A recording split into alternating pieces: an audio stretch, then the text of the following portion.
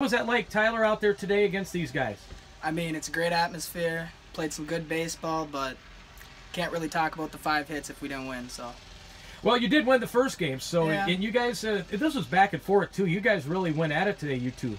Oh yeah, I mean that it's a rivalry game. You got to expect chirp and You got to expect good baseball. I mean, we go back and forth. It's been like that my whole life. So, good baseball. You know, you needed uh, Victorson and uh, England and them guys out there cooking out in, in right field and, and chirping out there too. Yeah, Like- we needed their chirping. We needed them. and it didn't happen today. No, probably too early mornings for them guys. Yeah, probably. we won't go into details on that.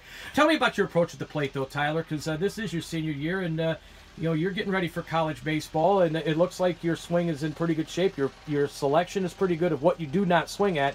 So, kind of talk about what you're thinking up there. I mean, my confidence is at an all-time high right now. I go up there and I'm thinking hits, hits, hits. Like that's all I think about up there, and over half the time I get a hit. So. Yeah, and, and the base running as well. Uh, that it really puts pressure on the other team.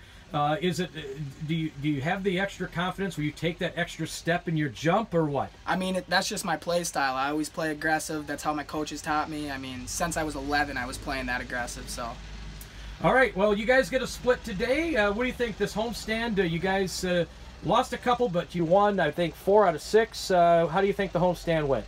I mean, went pretty well. But all I gotta say is Eskimos are winning out rest of the season. All right. Well, say your shout outs to whoever you want to, Ty. Shout out to all my family, Escanaba Eskimo fans, and uh, special shout out to Grant LaMarche. All right. You think the big tall guy's listening? I think he is. All right. Well, uh, it'd be nice if Bryant Stratton played Northwood, wouldn't it? Oh yeah. It'd be. I think I think we'd kill him. But oh, okay. All right. Congratulations, Ty. thank you, Jack.